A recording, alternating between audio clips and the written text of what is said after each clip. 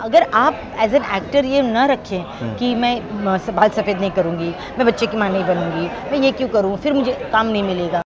सबसे पहले वीडियोस को देखने के लिए चैनल को सब्सक्राइब करें और बेल आइकन को प्रेस करें। Hello friends welcome to Filmi Funde John film dot com मैं हूँ आपका अपना वरिंद्र राठौर और आज हूँ मैं तेनाली रामा के सेट पर जहाँ पर 500 एपिसोड का सेलिब्रेशन चल रहा है और मेरे साथ अम्मा जी हैं और इस खुशी में वो भी कुछ बोलेंगी। Welcome to join films hello hello everyone खुशी इस बात की भी है कि इन्होंने कहा कि अम्मा बोलेगी। तो आज 500 एपिसोड के बाद मैं बोलूँगी। Okay okay. क्योंकि अभी तक हमने देखा तेनाला रामा इतना बोलते हैं कि किसी और को मौका नहीं मिलता कहीं पर भी ना रात सवा में ना घर पे।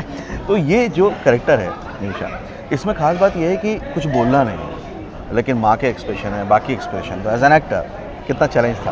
अरे it was a very big challenge the reason I took up this role कि अ, मैं अपने इम्प्रोवाइजेशन के लिए जानी जाती थी कि कुछ भी दो she improvises the lines along Right. और इस बार तो मुझे बोलना ही नहीं था तो this was a big challenge I was more excited तो मुझे लगा पता नहीं कैसे होगा और मुझे बताया गया था कि अगर ये वर्क नहीं हुआ तो फिर आपको हम बोलता कर देंगे कैरेक्टर को. But. Luckily it worked out so well कि मैं बोलना चाहती हूँ और मुझे नहीं बोलने देते। मतलब ये आपको पहले क्लियर कर दिया गया था कि अगर वर्कआउट नहीं हुआ एक रजिस्ट्रेशन नहीं हुआ ऑडियंस में हाँ, तो- हाँ तो कम That कर was- दिया जाएगा या हटा नो हटा नहीं मतलब बोलते फिर बोलना शुरू टॉकिंग लेकिन अब वो एक्सेप्ट हो गया।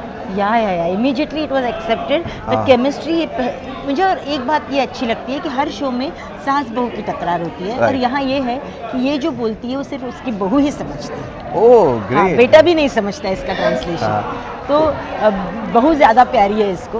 तो एक ऐसा रोल जिसमें एक्टर तो बोलना चाहता है लेकिन एक्टर ने इतना अच्छा एक्ट किया कि बोला गया अब मत बोलो।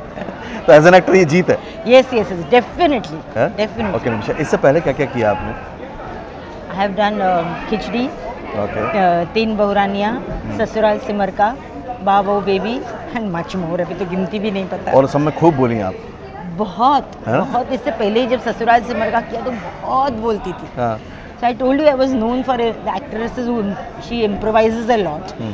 But uh, इसमें तो बोलना ही नहीं था तो इतनी बड़ी चैलेंज थी. And I am very much thankful to all my audience and to the almighty कि मुझे इसमें सक्सेसफुल कर दिया। uh, तो मैं बिना बोले भी लोगों को खुश कर सकती हूँ। निमिषा नॉर्मली बोलते हैं कि टीवी में ना एक एक्टर को बहुत ज़्यादा करने को नहीं मिलता। मतलब अलग अलग वेरिएशन करने को मौका नहीं मिलता खासतौर से एक पर्टिकुलर एज ग्रुप को। लेकिन आपने हर उसमें अलग अलग करेक्टर किए। तो ये स्ट्रेटेजी थी प्लानिंग थी या मिलता गया और आप करते गए? ऑनेस्टली स्पीकिंग मैं बताऊँ ये इतना था कि जब मैं आई टेल यू बीस साल पहले मुझे एक कैरेक्टर दिया गया जहाँ मुझे बूढ़ी बनाया था। तो मुझे कभी ये नहीं था ये एज में मैं बूढ़ी क्यों बनूँगी? मैं इसकी माँ नहीं बनूँगी। मैं मैंने सब किया। तो एवरी टाइम आप अगर इसको एक चैलेंज की तरह लेते जाओ तो मुझे लगता है कि और कुछ दिन बाद ही दूसरा जब शो किया चार पाँच साल बाद तो जिस एक्ट्रेस की मैं माँ बनती थी उसकी छोटी ननन बन गई। तो ये इतना अलग अलग था जैसे कि मैं ऑफ़िस तेरे आँगन की मैं राजीव मेहता की मैं बुआ बनती थी वाइट वेग लगा के। हाँ। उसके इमीजिएटली बाद बाबू बेबी में मैं उसकी छोटी बहन बन ओह ग्रेट तो अगर आप एज एन एक्टर ये ना रखें कि मैं बाल सफ़ेद नहीं करूँगी मैं बच्चे की माँ नहीं बनूँगी मैं ये क्यों करूँ फिर मुझे काम नहीं मिलेगा। ऐसे नॉर्मली थिंक जो नए एक्टर्स आते हैं निमिषा उनको यही लगता है कि टाइप कास्ट हो जाते हैं नहीं मिलता। लेकिन आप इसमें को तोड़ रहे हैं या बोलते हैं यही सच्चाई है? हमको ऐसा नहीं लगता। बिकॉज़ एक होता है ना कि मुझे सिर्फ़ कॉमेडी जमती है, मुझे सिर्फ़ वो जमता है।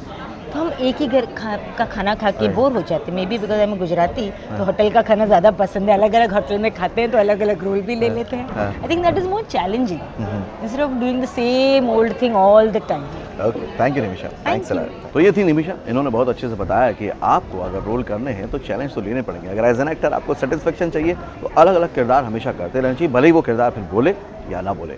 अलाइन फिल्म्स में और भी बहुत सारे वीडियो अवेलेबल हैं जिनसे कि आपको प्रॉपर प्रोफेशनल गाइडेंस मिलेगी। भले ही आप एक्टर बनना चाहते हो राइटर बनना चाहते हो फ़िल्म मेकर बनना चाहते हो सिंगर बनना चाहते हो आपको हर तरह के इस पर वीडियो मिलेंगे भले वो फेक ऑडिशंस पे हो कि ऑडिशन कैसे देने चाहिए इस पर भी डिटेल वीडियो अवेलेबल है। अगली बार फिर किसी वीडियो में आपसे फिर मुलाकात होगी तब तक के लिए देखते रहिए सीखते रहिए जमे रहिए। All the very best